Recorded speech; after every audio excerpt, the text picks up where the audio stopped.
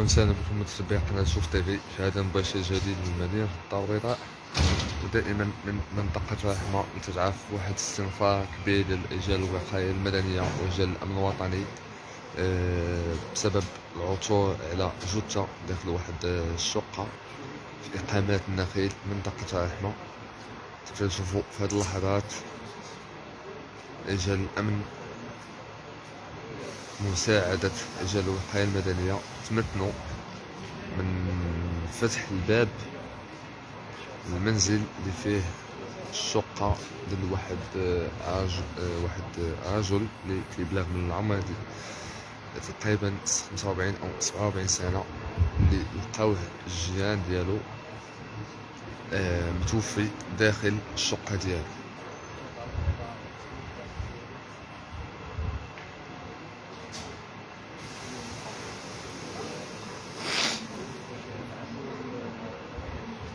اذا بعد أن الجيران عينوا هاد الجثه لأن آه، هاد المنزل هذا عنده باب ديال العود وباب ديال الحديد. الباب ديال العود كان محلول والباب ديال الحديد مسدود. جا آه، الجيران ديالو عينوا الجثه اتصلوا بالأمن جا الأمن دار هذا المعاينه ديالو آه، قاموا بالمسطرة المعمول بها اتصلوا بالنيابة العامة المختصة. جاو رجال الوقاية المدنية وتمكنوا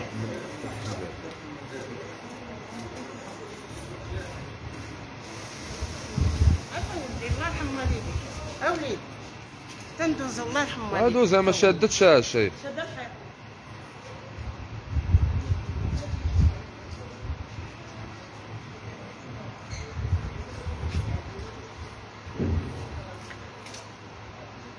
إذا في هذه اللحظات رجال الأمن بمساعدة رجال الوقاية المدنية تمكنوا من الفتح ديال آه، الشقة بعد لحظات يتم النقل ديال الجثة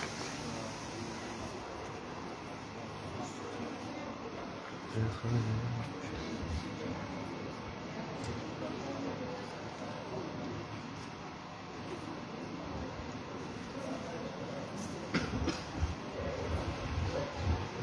بعيطك يجي إيه، نعيط يجي تطول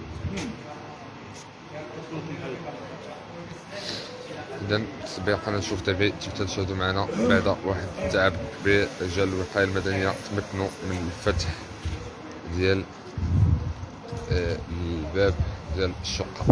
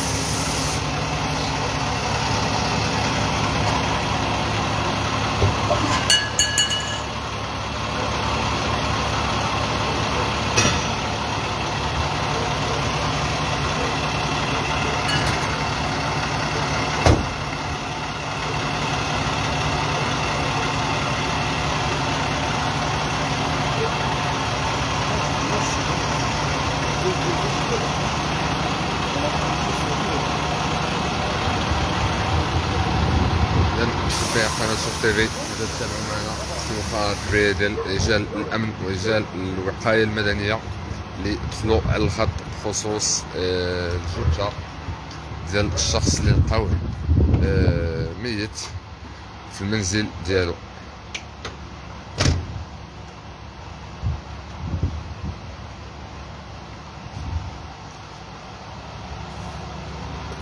اذا في هذه اللحظات تتابعوا معنا سلام مباشر رجال الوقاية المدنية تمكنوا من الفتح ديال الباب ديال الشقة. بطبيعة الحال آه، من بعد ما رجال الأمن قاموا بمسطرة معينة واستشاروا مع النيابة العامة المختصة. كذلك حضور حضور ضابط الشرطة القضائية. اذا تتبع قناة شوف تيفي إلى هنا استودعكم الله والى اللقاء مباشر آخر إن شاء الله.